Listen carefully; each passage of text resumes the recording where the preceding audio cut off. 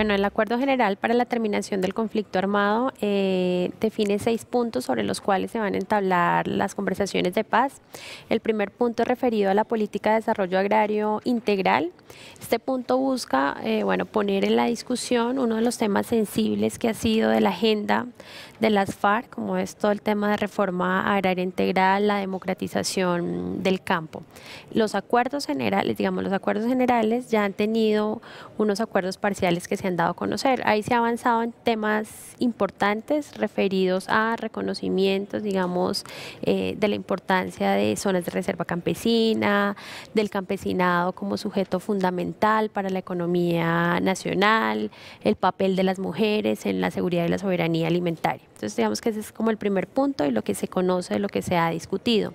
Hay un segundo punto referido a participación política. Ahí también ya se conocen algunos acuerdos parciales, eh, que básicamente busca generar unas dinámicas de ampliación del régimen político, de realmente fortalecer una democracia.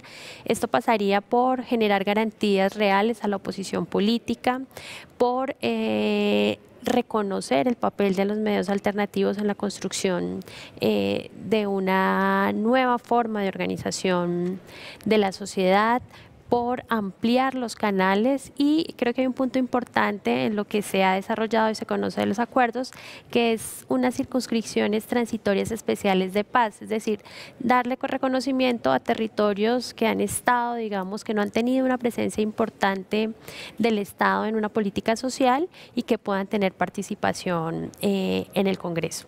El tercer punto hace referencia al fin del conflicto, es el punto de los que están ahorita justamente en discusión, que involucra todo el tema de la dejación de las armas y eh, otros elementos referidos a cómo acabar, digamos, la confrontación armada.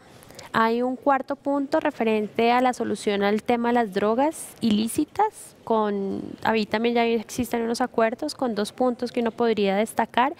Uno referido a diferenciar el cultivo de todo el tema de narcotráfico y comercialización. Esto en el entendido de que los cultivadores, los campesinos que cultivan no son narcotraficantes, no son criminales, pero que sí hay un negocio criminal de narcotráfico que hay que verlo ya en la cadena de comercialización. Y eh, íbamos al cuarto punto. Un quinto punto referido al tema de víctimas. Este está en discusión. La mesa dio a conocer 10 principios que orientan la discusión de víctimas. Aquí creo que es importante destacar que han ido delegaciones eh, de víctimas a la mesa de conversaciones a La Habana a hablar eh, con los delegados en la mesa. Han ido delegaciones de mujeres y entonces, digamos, en este, eh, como en este momento va la discusión. Y un sexto punto sobre refrendación e implementación de los acuerdos. Aquí, digamos, no se conoce todavía hay posiciones del gobierno frente a un referendo, plebiscito de las FARC sobre una Asamblea Nacional Constituyente. El movimiento social también ha puesto como sus perspectivas de la refrendación. Entonces, esos son los seis puntos que orientan la mesa, tres de los cuales ya hay unos avances importantes y los otros tres que son los que justamente están en una negociación simultánea en este momento.